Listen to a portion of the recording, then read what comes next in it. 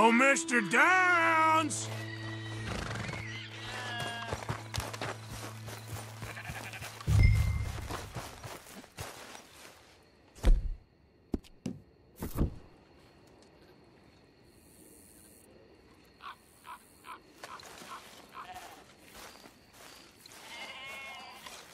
Mr. Thomas Downs, Yep, that's me.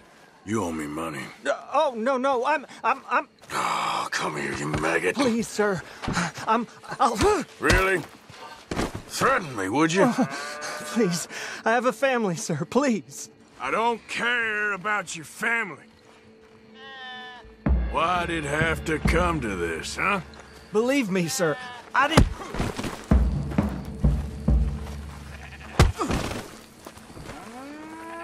You ain't such a do-gooder, are you?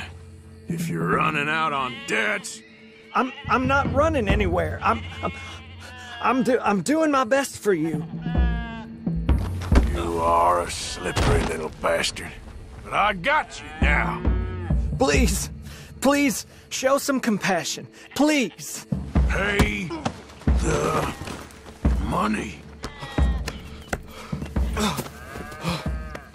You borrowed money from my business partner, Herr Strauss. You owe him, you took the money. He wants it back, what's not to understand?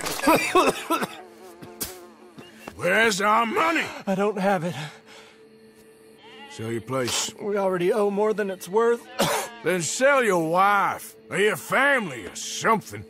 We ain't your idea of charity. Is that clear? What are you looking at? Thomas! I said what you looking at, woman. My husband isn't well. If we could just have more. Like I said, we ain't nobody's idea of charity. Get us the money.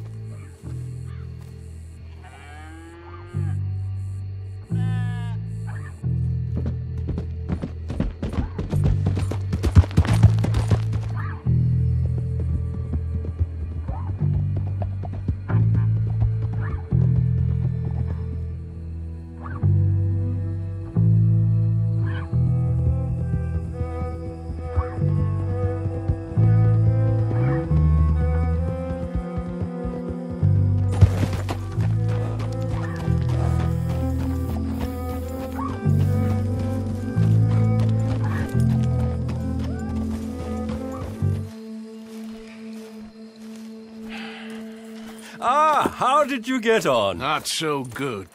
He's almost dead. And they seem more or less destitute. You were a fool for lending them the money.